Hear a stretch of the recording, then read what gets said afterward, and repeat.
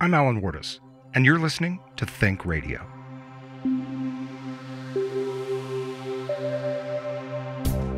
I don't think about cancer when I go to work. I think about the people that have cancer or are affected by cancer or the students whose parents have cancer, and they inspire me.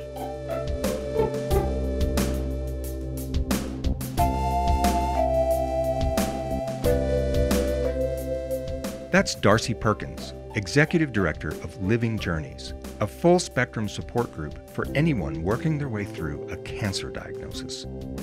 It's a great conversation about an important topic on this episode of Think Radio. Think Radio is supported by the Gunnison Country Times, Gunnison's locally owned hometown newspaper, and by listeners like you. To find out how you can become a Think Radio supporter, visit kbut.org. Darcie, thanks for joining me today. Thank you for having me. In preparing for today's show, it really occurred to me that you have got an incredibly difficult task that you've set out for yourself for lots of reasons. But one of the most important, I think, is that you are trying to bring a subject into public consciousness that nobody wants to talk about. Your whole organization is built around a word that no one wants to hear cancer. How in the world do you get up in the morning and steel yourself to go out and try to do this good thing in the community, knowing that people don't want to talk to you about this? Hmm. Well, I think the answer to that is what I do is not about cancer. What I do is about the people who are affected by cancer. And so I can talk all day long about the inspirations I get from people who are fighting cancer. They inspire me. I can tell you about the struggles that people face and why, as a community, we have to take care of each other. Um, and it's really not about cancer, it's about people and lives and stories. And I don't think about cancer when I go to work. I think about the people that have cancer or are affected by cancer or the students whose parents have cancer, and they inspire me. I like your approach. And yet, still, mm-hmm. for a minute, let's talk a little bit about cancer. Sure. As we've said, it's a word nobody wants to hear. But I wonder, in your experience, is it a word that people even understand? We, we say the word cancer and we think we know what we're talking about what is this thing that has beset our society? Well, that's a good question. And I would say that we probably think we know what that word means, but even doctors don't know what that word means. We're learning more and more about it every day. Um, treatments are changing. Um, there are hundreds of different types of cancer. So when you say you have cancer, that can mean a lot of different things. Um, different types of cancer have different treatments, different outcomes, um, different side effects. So, the word cancer is one word that describes a whole vast array of diseases that affect different parts of our bodies. So, that word cancer is often misunderstood. Sure, and and certainly on an individual level, you're saying, you know, I, the phrase "I have cancer" is not a one size fits all sort right. of thing. That can mean everything from, wow, really, really scary, mm-hmm. to okay, we'll deal with this. Mm-hmm. Your work at Living Journeys is also dealing with cancer on a community level. Mm-hmm. What does that word mean to a community? You know, when somebody in our community is affected by cancer, uh, we're such a small community that seven degrees of separation is the motto for the world. Well, here, if you don't know the person who's diagnosed with cancer, you definitely know somebody who does. And so when one person's affected by cancer, we all are. And so describe that in detail. How does that work? How is it that I'm affected by someone else's cancer diagnosis? It's a good question. So if you have a friend who's affected by cancer, um, you have to watch them go through the journey of cancer, and that's not always pleasant. Um, they need help, they need support. Sometimes they can't work, they don't aren't able to care for themselves, if they don't have significant others or family members, if they're young, and we have a lot of young people, we create meal trains, and um, it puts a stress on their network of friends. Emotionally, cancer is very difficult. You said, you know, well, cancer can be scary, or sometimes, you know, oh, we'll just get through this. 100% of the time, when you hear the words, you have cancer, it is scary. No doubt. No doubt. So, you know, it goes beyond just friends and family because at some point, um, friends and family, their resources are exhausted. Um, I had cancer. I'm cured. It's a curable form of cancer. But the first six months, I had family and friends rallying around me, no doubt. But it took me many years to become whole again and to feel the energy I needed to take care of my kids. And probably psychologically safe. Again. Yeah, well, right. Anxiety is a big part of it. Anxiety lasts a long time. And when you go for your six month checkup and then you have to wait another year and you go for your year checkup, that lasts usually years. So you exhaust your friends, you exhaust your family, you feel tired of talking about it, tired of it being so much a part of your world. You don't want to talk to your family, you don't want to talk to your friends about it anymore. Mm-hmm. But the reality is, you still need the support. Mm. So that's where the community as a whole comes in to be that third layer of support, whether it's through support groups or private therapy or just in general. But cancer has many layers to it. And without the foundation of a strong community, there's holes. You yeah. can't just rely on family and friends because they can't do it all. And I'm thinking about the motive that the community has. There's empathy, of right. course. There's altruism. There's the idea that, okay, this person is a part of our community. They need our help. But there's benefit to the community also, right? I mean, because when someone is diagnosed with cancer, that affects not just their close circle of family and friends, but mm-hmm. their employers, others that depend on them. They're not as available to volunteer at school or in other right. organizations. The entire community is somehow affected. How would you sum it up if asked the question, what's in it for the community mm-hmm. to really get behind people who are struggling like this? I think it depends on your personal view of community and what it means to be a whole community and what a healthy community looks like. All really, really easy questions. We could just dispense with those in the next five minutes, right? right, right, right. I mean, it really comes down to philosophical beliefs. How do we take care of each other and why is it important? And what I find most fascinating is we have seen a lot of these questions come up in our society how do we take care of each other? Who are we as a culture? Um, where's our future of the United States of America if we want to go sure, that big? Sure. But you can also like whittle it down to um, the Gunnison Valley, and we have a lot of change coming our way, whether we like it or not. The question is, who do we want to be, and what is our community going to look like? Absolutely and right.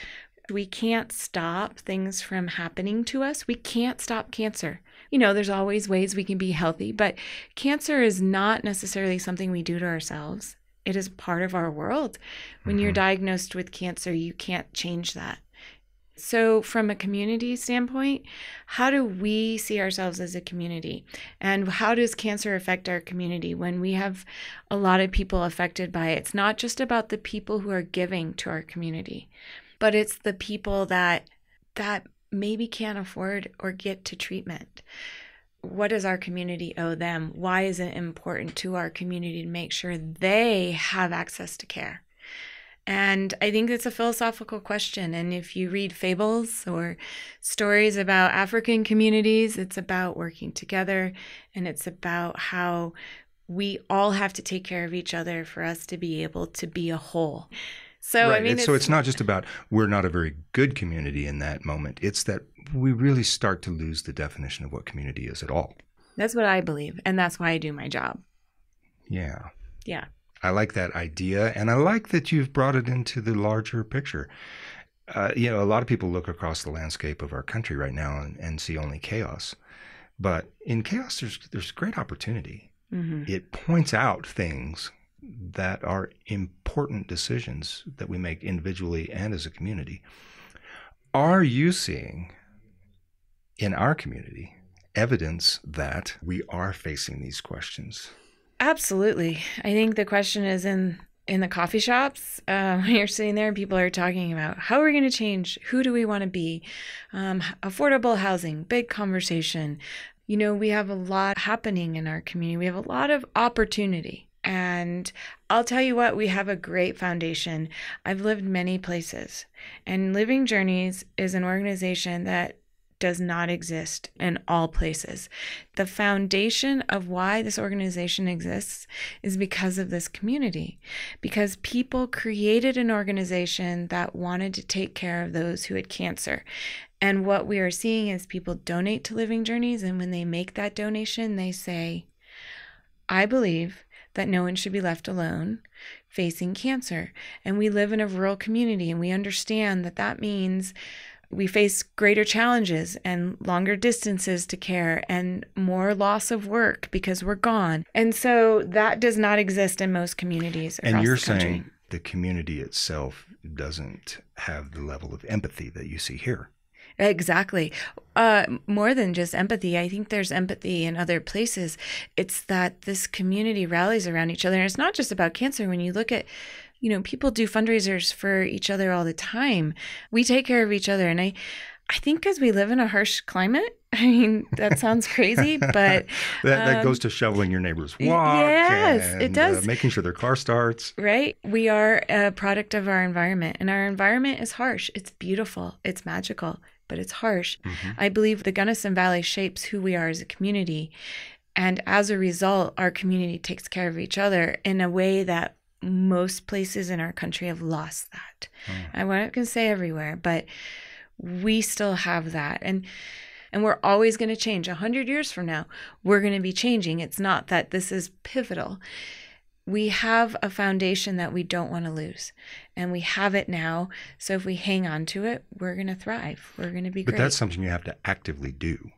You can't just say, "Oh, we've got a great foundation. How cool for us." Yes. You have to work to preserve it. Right. Let me ask you this. How prevalent is cancer diagnosis in our community? That's a good question. It is predicted that 54 individuals that live in our community, year round residents, will be diagnosed with cancer. So that's a, just a statistical it's, average. It's across. based on based on our population size and the average rate of cancer over the past 20 years. Um, believe it or not, that is just below the national average, and Gunnison County is the third lowest county. The state of Colorado, Gunnison County is the third lowest for cancer rates and our types of cancer. In other words, breast cancer is the most common form of cancer or the most prevalent. About 30% of all cancer diagnoses are breast cancer. Nationwide. Di- nationwide, statewide, and in Gunnison County. Um, prostate cancer and lung cancer. Um, they're all in par. So, you know, I've had people say, what's going on when our water? It seems like so many people are getting cancer here. We just happen to know so many people. We are connected. We understand it. Um, but our water is clean and our environment is clean and we are not like seeing cancer rates higher than than anywhere else. Which supports what you said earlier that cancer is just part of modern life. It is. It's really hard to pinpoint and say where it's coming from. Right. but the fact is it's here. Right but 54 out of everyone that lives in Gunnison County, at first blush, you might think, well, that's kind of a small number. Mm-hmm. But when you really start to think about that, that means every time I go to the grocery store, there's a statistically significant mm-hmm. chance that I'm standing there with one of those people. Mm-hmm. Once a week, someone we know might be diagnosed with cancer. 52 weeks in the year, 54 people diagnosed. And across all age groups, all demographics. Cancer does not discriminate against age. We have young children with cancer. It doesn't discriminate against wealth. We have very wealthy people diagnosed with cancer. We have very poor people diagnosed with cancer.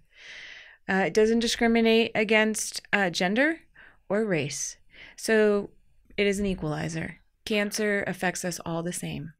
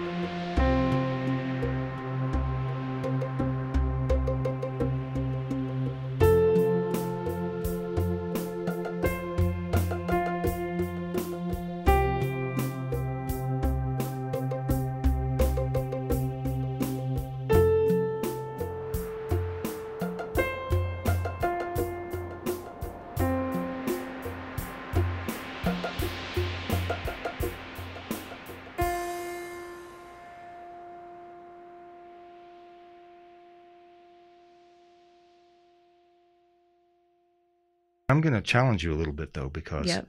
it can be an equalizer. But for those poor people, for instance, who lack access to resources, hmm they don't feel equal in their experience with somebody who does have access to the latest and best care. Right. Which brings us back around to an organization like Living Journeys. And according to you, there aren't that many. Right. But brings us back to Living Journeys and what your mission is is to be that element that does equalize, that does level the playing field as much as possible. Yes, we try, and we're trying harder, and we need to do more. I can give you two very prominent examples uh, in the last year or two.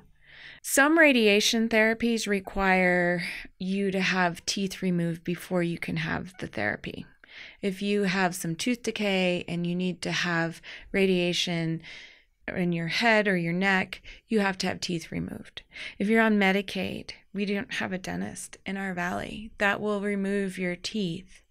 You have to go to Montrose as the closest Medicaid provider, and they won't do the services until you pay up front. Well, how long do you think it might take somebody to earn on minimum wage the amount to pay up front? Um, we make sure that they can get a ride to Montrose, that we work directly with the provider. We become the insurance company in this case. We pay. They will then um, bill Medicaid. And then when they're reimbursed, they'll give whatever portions they're given, we get back. So living journeys in small doses. Now, unfortunately, a second situation, we couldn't be that insurance company because the costs were astronomical. And we are working to build funds so that we can do more of this. Um, there was a client who was denied care for seven weeks, loss of limb, loss of life. And it had to do with an insurance issue, not being qualified for Medicare or Medicaid.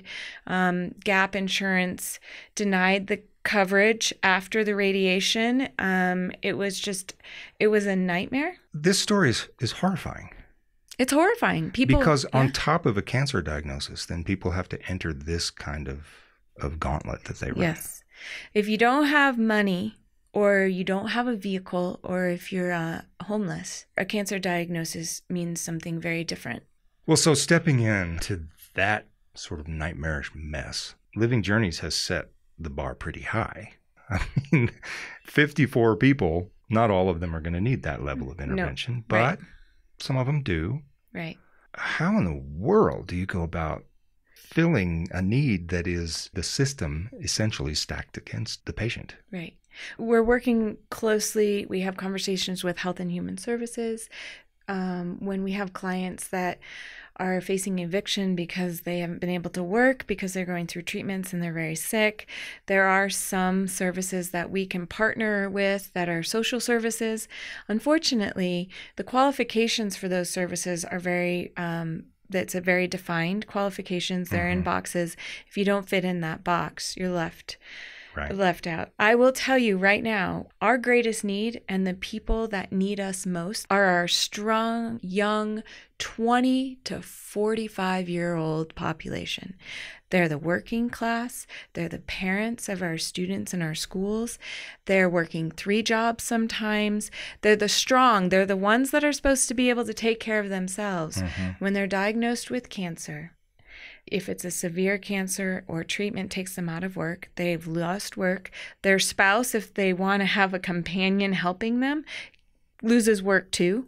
Um, the children suffer, or a family with a child diagnosed with cancer. Ages 20 to 45, working class, uh, there's no resources for them. So this goes back to the big picture question, the philosophical question. right. Are we okay with that as a community? Are we? Hey, that hasn't happened to me. Right. It stinks, but what can we do? Right. Are we okay with this? This is a big question. If you look in the paper right now, you can get a job doing just about anything. We need workers so badly, right? Right. How many of those jobs pay health benefits? Uh, I would not hazard a number, but it's not very many. Not very many. However, there are employers out there that are employing people who get put in these situations and they're allowing them leave of absences and making sure that they have some stipend work. And as small business owners, I praise that because I understand small businesses can't always afford to foot the bill of a cancer diagnosis Sure. for an employee. But Which is why I was asking the question what does it mean to a community as a whole? Exactly. Yeah. Um, and the answer that you're giving now suggests that everybody can do something. Yes. You can contribute in some way, whether it's an extra shift at work, whether it's uh, you know payment for lost time. Yep. You can donate your leave to a fellow employee who Mm-hmm. has, so they can have a longer leave to be with family members. Yep. So it's a big hill to climb, but no one person or no one entity has to do it No. alone. No. That's the whole idea. Absolutely. Yeah. There are businesses that are helping, um, community members. Yeah, well, yeah, the, yeah. the list could go on and on. Yeah, yeah, yeah. I want to shift gears just a little bit. Yeah. And ask you why this for you personally? Why this work? Ah, What gets you out of bed every morning Mhm. motivated to go and throw yourself into this issue with Mm-hmm. such passion? What's your story? Why does this matter to you? that's a good question. And I, uh, personally, what do you want to leave behind in your life? What do you want to accomplish? And I know I could make more money doing something else. I don't know what it would be. Um, and I struggle sometimes. We have family needs. But in the end, I really want to feel like at the end of the day, I've done something to help somebody else. And that's just maybe who I am. But um, I was affected by cancer and we did not live here. And I had two young children, and they were one and three at that time. I was very lucky that my therapies and surgery were not as severe as others are. So I'm not claiming to say I've gone through this terrible thing, but I understand what anxiety is. I understand what fear is. I understand what being a mother is and having young children. Um, I also understand where your support comes from. And there were holes for me. And even though we had great insurance, my husband works for the federal government, we had great health insurance, the financial hit of a cancer diagnosis was mind numbing. Um, Mhm. For young adults with young kids, we didn't have huge amount of savings. We had, you know, threw things on credit cards. Even Mhm. even though we had great insurance, the expense is through the roof. So um, I understand. I have a lot of empathy for people who are in that situation. Right. And I also really have a little chip on my shoulder. And um, well, we it would be shocking if you didn't. I have a chip on my shoulder and the community that I lived in at that time and I consider it the United States. We aren't doing enough. We weren't taking care of each other. We aren't doing enough. Well, that's why I Healthcare called it a issue. systemic problem. It is systemic. And I do believe and I feel that Living Journeys and the work that I do has an impact to fill some of the holes that our system is failing us. And when you make a donation to Living Journeys, what you're saying is, I want change. I want the little guy that doesn't have any money Mhm. to get the same treatment. And I want to give back to the philanthropist and the people who are running these nonprofits that are diagnosed with cancer. It's our Mhm. turn to say, Thank you for giving to Right. us. Let us help you. And that's where Living Journeys can fill these holes and these gaps where our our governments and our community as a country, we are not taking care of each other and our health system is broken and our medical system is broken. So it's a grassroots way to Yeah. say we're not going to wait for you anymore. right. we're, Right. we're going to get it done. It's my way of fighting back and saying, fine, if you won't do it, we will. yeah. And I mean, I think that's why I keep going. And it's not. Oh, it's there's nothing like a good fight to get you up in the morning. Are other communities starting to notice what you're doing here? Um, a little bit, but not a lot, because not a lot of people know who we are. Ah, But they're starting. There's an organization in Denver that's really looking at what we're doing. Um, they do some similar things, but not in the same. They do grants, mhm. um, but that's it. Um, not everyone in Gunnison County knows who we are. Well, let's And see if we can let's do something about that. Yeah, yeah. so I think as we're there's no organization like this in Mesa County, Grand Junction, Montrose, Telluride, um, but we're beginning to have discussions about how we can uh, share resources, whether it's for transportation, and I think in working. It'll probably start Western Slope. In larger discussions, people will learn about what we're doing. And I think, yeah, they're going to see an organization that's making differences. Yep Well, where hospitals can't anymore. Hospitals can't do what we're doing anymore, and they used to do it. and that's for financial reasons. Um, I really, Mostly? yeah. Um, an organization called Project Hope in Denver um, has been working with a lot of the hospitals in Denver, where they have oncology nurse navigators. We're very fortunate to have a fantastic oncology nurse navigator here at Gunnison Valley Health, but they're removing those positions. Hmm. in Denver. Um, there is what you know that's being reported to me that these softer services are being lost because of financial The way insurance is There- yeah, structured, all of that we don't have- same yeah. mess. right. Darcie, how do people find you? You say, you know, a lot of people in Gunnison Valley don't even know you're here. Right. Where do they go to to learn more Right. about what you're up to? Well, hopefully, if they've been diagnosed with cancer, their doctors are going to tell them about us. Um, we're really trying to get that, and most doctors now in in our valley know about us. Mhm. Not everyone's diagnosed here. So we're getting more and more referrals for Gunnison Valley Hospital. But we do have a website. It's livingjourneys.org. And you can always contact us through the website, call us. Um, there's a phone number on the website. And um, I think we have to do a better job of outreach. We need to make sure nobody doesn't know about us. Mhm. We need everyone that's diagnosed with cancer to know that we are here. And if there's a way we can help, we will do our best to, to be that resource. And there again, this is a community project. Right. If you're listening to this and you know somebody who's been diagnosed who does not know about Living Journeys, pick up the phone, get on the website and, and figure it out and pass the word around. that would be great. All right. Darcie, thanks for joining me Thank you. Thank you for having me. and for all your hard work. Thank you.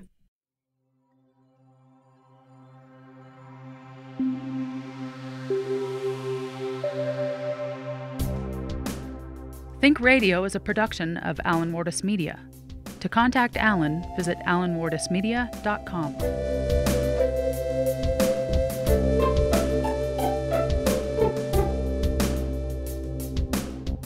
The show's producer is Issa Forrest.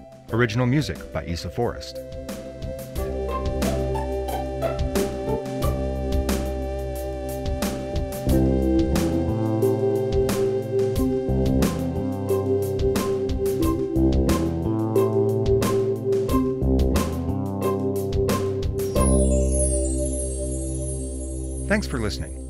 Join us next week for another great conversation on Think Radio.